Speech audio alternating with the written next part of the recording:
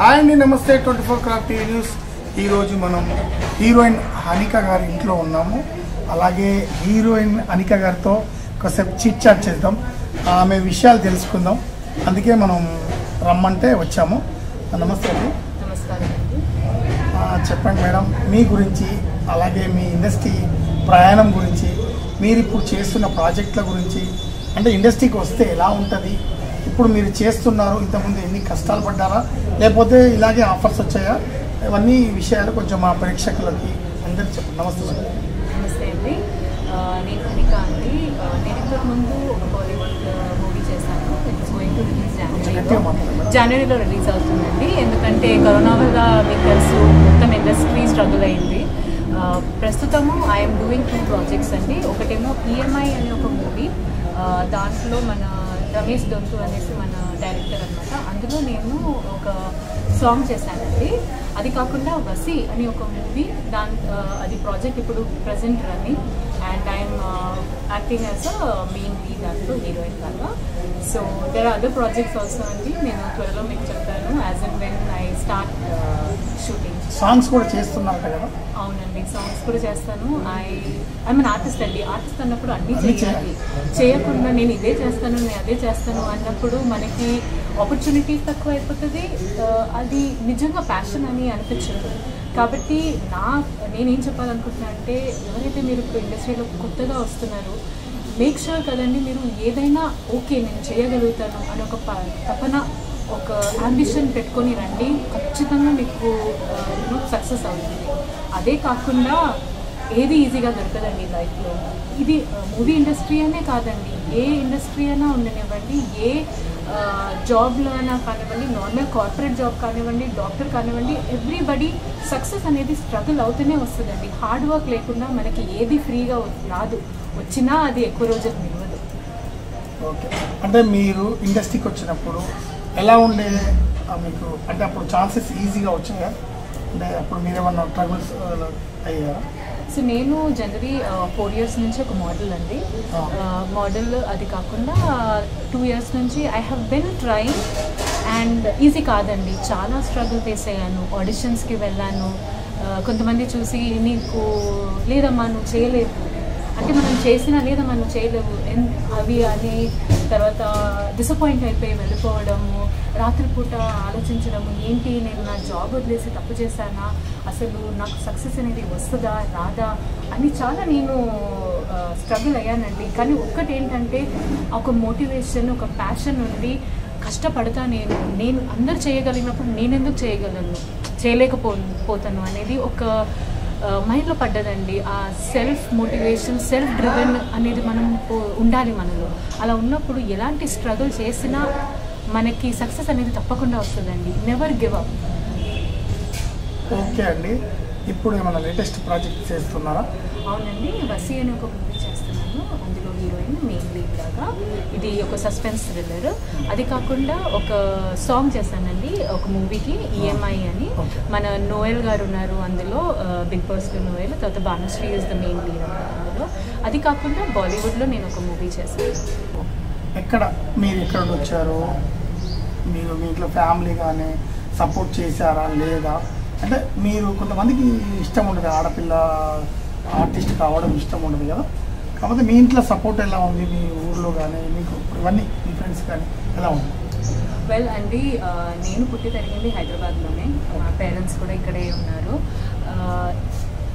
ఇండస్ట్రీలో వెళ్తున్నారు అమ్మాయిలు అనగానే ఒక భయం అనేది ఉంటుందండి ఫ్యామిలీ మెంబర్స్కి ఏంటి ఇతను వెళ్తుంది అంటుంది అక్కడ ఇది ఎలా అంటే ఒక ఫ్రీలాన్సింగ్ జాబ్ అండి. It is not a permanent job మనం స్ట్రగుల్ చేసి పది మందిని కలిస్తే మనకు ఒక ఆపర్చునిటీ దొరకచ్చు.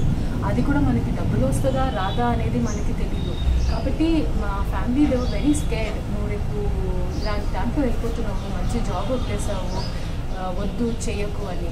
కానీ వాళ్ళని నేను కన్విన్స్ చేసి కన్విన్స్ చేయకుండా నేను ఇదే చేస్తాను రాలేదండి. ఎప్పుడైనా పేరెంట్స్ని కన్విన్స్ చేయండి.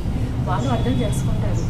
కన్విన్స్ చేసి ఫోర్ ఇయర్స్ తర్వాత నేను ప్రయత్నం చేయడం స్టార్ట్ చేశానండి. Right now my parents are very cooperative my brother is cooperative and I'm able to achieve అనమాట ఇంత. ఎందుకంటే uh, నేను వద్దు నాకు ఎవరు వద్దు నేను చేసుకుంటా అని రాలేదండి. ఒప్పించి వచ్చాను. ఇప్పుడు ఆ స్ట్రగుల్ అనేది కూడా కష్టం అనిపించలేదు నాకు. ఎందుకంటే మా పేరెంట్స్ నాతో ఉన్నారు. నాకు ఏమైనా అయినా వాళ్ళు ఉన్నారు. నాకు uh, ఆపర్చునిటీస్ రాకపోయినా వాళ్ళు ఉన్నారని ఒక ధైర్యం వచ్చిందండి. కాబట్టి ఎవ్రీ యంగ్స్టర్ ఒక్కటే చెప్తాను ఒక కాన్ఫిడెన్స్ పెట్టుకోండి ప్యాషన్ పెట్టుకోండి డిటర్మినేషన్ పెట్టుకొని పేరెంట్స్ని ఒప్పించి చేయండి. సక్సెస్ తప్పకుండా దొరుకుతుంది చాలా మటుకు చాలా మంది పేరెంట్స్ ఒప్పుకోరు కదా. మీ ఇంట్లో మీ ఇంట్లో పేరెంట్స్ సపోర్ట్ చేశారా? ఇనిషియలీ ఒప్పుకోలేదండి. నేను ఒప్పించి వచ్చాను. అదే. ప్యాషన్ అండి. అది ఒక ట్రూ ప్యాషన్ ఉన్నప్పుడు ఎలాంటి మనిషినా అది ఆ కళ్ళలో గుర్తు వచ్చేస్తుందండి వాళ్ళకి చూసి. ఈ అమ్మాయికి ఎంత చెప్పినా తను అర్థం చేసుకోవట్లేదు. అంటే తనకి నిజంగా ప్యాషన్ ఉంది. ఆ తపన ఉంది. ఆ హార్డ్ వర్క్ చేస్తుంది. తను పైకి వస్తుంది అని ఒక భరోసా అంటారు కదా హిందీలో. అది వాళ్ళలో తెప్పించి నేను బయటకు వచ్చాను. మీరు ఇండస్ట్రీకి రాగానే అంటే చాలా ఆఫీస్లో చాలా మంది ఆడిషన్స్ కోసం తిరుగుతారు కదా. అంటే మీరేమన్నా ఆడిషన్స్కి పోయిన కాడ కొన్ని ఇబ్బందులు పడతారు కదా? ఇండస్ట్రీలో చాలామంది కొంతమంది కొంచెం మంది ఇబ్బందులు పడుతున్నారు అంటారు. మరి మీరు అట్లాంటి ఇబ్బందులు ఏమైనా పడ్డారా? వెళ్ళానండి చాలా ఆడిషన్స్కి వెళ్ళాను భయపడ్డాను మంచిగా ఇచ్చాను అన్నీ జరిగాయి. కానీ ఒక్కటి నాకు నచ్చలేదండి. మన దగ్గర తెలుగు అమ్మాయి అంటేనే చనువుగా చూస్తారు ఫస్ట్. అంటే ముంబై అమ్మాయి అయితే ఢిల్లీ అమ్మాయి అయితే తెల్లగా ఉంటేనే హీరోయిన్లు అవుతారా ఆర్టిస్టులు అవుతారా? అంటే మాలాగా బ్రౌన్ స్కిన్ ఉన్నవాళ్ళు నల్లగా ఉన్నవాళ్ళు ఏంటి? ఆర్టిస్ట్ కాలేరా? పర్ఫార్మెన్స్ చేయలేరా? నాకు అది ఒక్కటి అస్సలు నచ్చలేదండి. అమ్మ నువ్వు కొంచెం తెల్లగా కొంచెం తెల్లగా అమ్మ. ఎందుకు? నా కలర్ ఇదే. నాకు కలర్ నాకు నచ్చుతుంది మేము సౌత్ ఇండియన్స్ అండి. మేము ఇలానే ఉంటాము. కానీ యాక్టింగ్లో ఏమైనా తేడా వస్తుందా? రాదు. కాబట్టి ఎప్పుడైనా ఒక్కటి గుర్తుంచుకోండి. బ్రౌన్ ఈజ్ బ్యూటిఫుల్ అలానే నేను వేరే కలర్స్ తప్పు అనట్లేదు.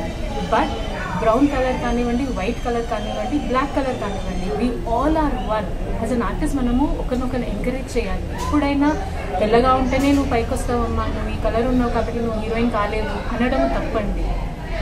ఓకే. మీరు ఎప్పుడైనా ఇన్సల్ట్గా ఫీల్ అయ్యారా? అలాగే ఎప్పుడైనా ఏడ్చారా? అరే ఈ ఇండస్ట్రీ వద్దు అనేటట్టు ఎక్కడైనా బాధపడ్డారా? ఒకసారి అయిందండి. నేను ఒక పెద్ద ఆఫీస్కి వెళ్ళాను. పేరు అవన్నీ నేను తీయదండి ఆ, వెళ్ళంగానే నన్ను చూసి ఆ రోజు నేను చాలా టైర్డ్ అయిపోయాను. మాకు మాకు ఎలా అంటే అండి ఆర్టిస్ట్ కాల్ రాగానే ఇలా ఒక ఆపర్చునిటీ ఉందమ్మా రా అన్నప్పుడు నిద్ర లేకపోయినా తిండి తినకపోయినా మేము వెళ్ళిపోవాల్సి వస్తుంది. ఎందుకంటే అప్పుడు వెళ్ళకపోతే ఆపర్చునిటీ రాదు. కాబట్టి ఒకరోజు నేను ఫుల్ డే షూట్ అయిన తర్వాత నెక్స్ట్ డే రమ్మన్నారు. వెళ్ళిపోయానండి. నేను ఎలా ఉన్నానో అలా వెళ్ళిపోయాను. చూడగానే ఏంటమ్మా నువ్వు ఇలా ఉన్నావు? నువ్వేంటి అసలు? నువ్వు ఏమైనా ఆర్టిస్టా అని అనేసారు. అది నాకు చాలా బాధ అనిపించిందండి. ఆ సెల్ఫ్ రెస్పెక్ట్ అనేది నాకు చాలా. ఇన్సల్టింగ్గా ఫీల్ అయింది. ఎందుకంటే ఒక ఆర్టిస్ట్ ఒక అమ్మాయి అనేది ఎంత మెయింటెనెన్స్ ఉంటుందండి ఒక ఆర్టిస్ట్కి మేము ఎంత స్ట్రగుల్ అవుతాం ఎవరికి తెలియదండి. అది మాత్రం ఎవరు చూడరు. ఆ లైమ్ లైట్లో సడన్గా ఒక మంచి గ్లామర్గా వచ్చేసాము. కెమెరా ముందు అనగానే అరే వీళ్ళ లైఫ్ చూడండి బాగుందని. కానీ అలాంటివన్నీ మాకు అస్సలు ఉండదండి. స్ట్రగుల్ లాట్ ఇన్సల్ట్ కానివ్వండి కింద చదువుగా చూడడం కానివ్వండి అవుతుంది అది కాకుండా అదే కాదండి చాలామంది మంచి వాళ్ళు ఉన్నారు. చాలా మంచిగా చూసుకుంటారు. నేను ఒక షూట్ వెళ్ళానండి లక్ష్మి గారు అని ఒకరు ఉన్నారు నాకు అమ్మ కన్నా ఎక్కువ ఫుడ్ నోట్లో పెట్టి నా దగ్గర మొత్తం రాత్రి వరకు నాతో ఉండి వెళ్ళారు. తను ప్రొడ్యూసర్ మరి. అంటే మనలో నేనేం చెప్పదలుచుకున్నా అంటే కొంతమంది మంచోళ్ళు ఉన్నారు కొంతమంది చెడు ఉన్నారు. అలానే మన ప్యాషన్ని మనం వదులుకోవద్దండి. ఏడుపు వచ్చినా సంతోషమైనా మనం ఏమైతే సాధించాం అనుకున్నామో అది సాధించి తీరాలి. అది నా మోటో ఎప్పుడైనా ఏడ్చారా ఏడ్చానండి. ఆ రోజు అతను అలా మాట్లాడంగానే కారులో నేను నా కారులో వెళ్ళిపోయి చాలా ఏడ్చాను బాధపడింది. కానీ ఒకటండి నేను మీకు ఒకటే చెప్తా. What doesn't kill you will only make you stronger అంటే ఏదైతే మిమ్మల్ని సంపదో అది మిమ్మల్ని ఇంకా స్ట్రాంగ్ చేస్తుంది. తను ఆ రోజు అలా అన్నందుకు నేను నాలో తక్కువ ఏముంది? నేను చూపిస్తా అని ఒక తపన వచ్చి నేను ఇంకా కాన్ఫిడెంట్ అయ్యానండి. అది ఉండాలి. ఎవరిలో ఏమైనా చేయాలనుకుంటున్నాను ఓకే. మా వ్యూవర్స్కి అలాగే కొత్తగా వచ్చే వాళ్ళకి ఏం చెప్పాలనుకుంటాం కొత్తగా వచ్చిన వాళ్ళకి ఒకటే చెప్తాను. చాలా డిసప్పాయింట్మెంట్స్ ఉంటుంది నేను మీకు రోజీగా ఏం చెప్పను. చాలా డిసప్పాయింట్మెంట్ ఉంటుంది. చాలా బాధపడతారు. మనకి ట్రావెల్ చేయడానికి వంద రూపాయలు కూడా ఉండదు. ఎలా వెళ్ళాలి? ఏం చేయాలి? ఆడిషన్ ఇవ్వాలి? నాకు నేను డబ్బు సంపాదించాలి అని ఉంటుంది. కానీ ఒక్కటండి. కష్టపడ్డారనుకోండి ఫలితం తగ్గుతుంది ఆ ఫుల్ హార్టెడ్గా చేయండి. తప్పు మాత్రం చేయకండి. ఓకే? ఏదైనా మంచిగా జరుగుతుంది. మీకు మోటివేషన్ ఒకటి మీరు ఆల్వేస్ పెట్టుకోండి. పది మంది మీరు మంచిగా లేరు మీరు మంచిగా చేయలేరు అనేది అవన్నీ పట్టించుకోకండి. కాన్ఫిడెంట్ అనేది ఒక్కటి మీరు పెట్టుకున్నారంటే జీవితంలో ఏదైనా సాధించగలుగుతారు. చూశారు కదండి హానిక గారి గురించి ఆమె లైఫ్ స్టైల్ గురించి. ఏ సినిమా వచ్చినా ఏ సీరియల్ వచ్చినా ఆమె తప్పకుండా చేస్తుంది. అది ఆమె చెప్తుంది. ఓకే అండి హనిక గారు. మీకు ఎవరికైనా హనిక గారు కావాలి అనుకుంటే మా ట్వంటీ ఫోర్ క్రాఫ్ట్ టీవీని సంప్రదించండి. తను కంపల్సరీ మంచి ప్రాజెక్ట్ అయితే తప్పకుండా చేస్తుంది. మేము ఆమెతో డిస్కస్ చేసి మీకు అవకాశం చెప్పిస్తాం చెప్పండి. థ్యాంక్ యూ సో మచ్ అండి thank you and please do not get to subscribe comment like and share twenty four craft TV news thank you twenty 24 crafts TV news is the best YouTube ఛానల్లో news అండి. మీకు entertainment కానివ్వండి latest news కానివ్వండి మీకు ఏది తెలుసుకోవాలన్నా కూడా మీరు ఈ ఛానల్కి సబ్స్క్రైబ్ చేశారంటే you will get every single information అది కాకుండా అండి చాలామంది ఉన్నారు మంచి ఆర్టిస్ట్ టాలెంట్ ఉన్నవాళ్ళు ఎక్కడ జాబ్ దొరకకుండా ఎక్కడ వాళ్ళ టాలెంట్ చూపించలేకపోతున్నారో మీరు ట్వంటీ ఫోర్ క్రాఫ్ట్స్ టీవీ న్యూస్కి కాంటాక్ట్ కండి. మీకు తప్పకుండా ఒక ఫ్యూచర్ వస్తుందండి. మీకు ఒక ఛాన్స్ అనేది మే- వీళ్ళు ఇస్తారు compulsory. And please do not forget to subscribe. And yes do not forget to ring the bell. Thank you. ఇంకొకటండి ఫోర్ పిఎం లైవ్ ఉంటుంది. తప్పకుండా చూడండి. మీకు ఏ ఛానల్లో దొరికింది ఈ ఛానల్లో దొరుకుతుంది. మనీ రీఛార్జ్ కూపాన్స్ ఇంకా ఎన్నెన్నో మీకు గిఫ్ట్స్ వస్తాయండి. So do not forget subscribe and watch live at 4 p.m. and you are going to win lots of money. Thank you.